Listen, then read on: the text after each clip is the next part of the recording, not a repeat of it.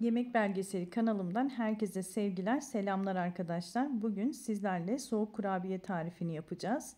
Sizleri hiç bekletmeden buyurun hemen tarif kısmına geçelim. Kurabiyenin yapımına öncelikle 2 adet muzu ezmekle başlıyorum.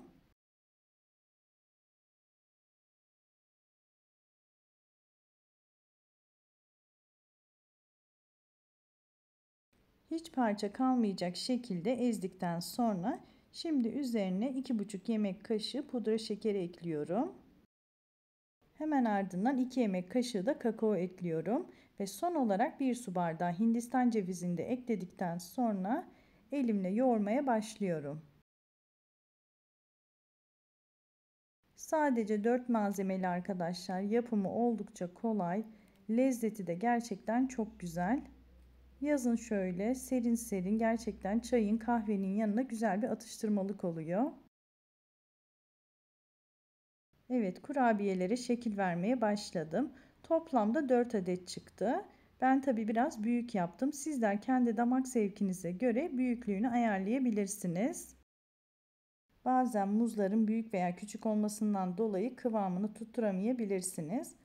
Bunun için hemen kontrollü bir şekilde pudra şekerini yavaş yavaş ilave ederek kıvamı yakalayabilirsiniz. Zaten gördüğünüz gibi sert bir yapısı yok. Oldukça cıvık ve yumuşak olacak. Kurabiyelerin hepsine şekil verdikten sonra donması için derin dondurucuya kaldırıyorum. 5 saatin sonunda kurabiyeler dondu. Şöyle hemen sizlere göstereyim.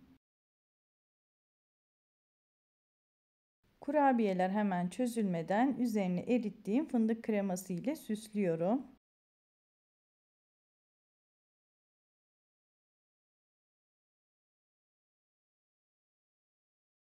Gördüğünüz gibi arkadaşlar yapımı oldukça kolay, pratik ve çok lezzetli bir tarif.